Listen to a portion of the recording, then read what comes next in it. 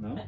Um, yeah, but look, we can we can go up over there, Mm-hmm. um, and then we just But I think we should take the easier route. Yeah, but like- you know. because you know all the glacier, we need to avoid them. So we go right on the top, and then we follow the crete over there, and then you have an amazing view on the glacier.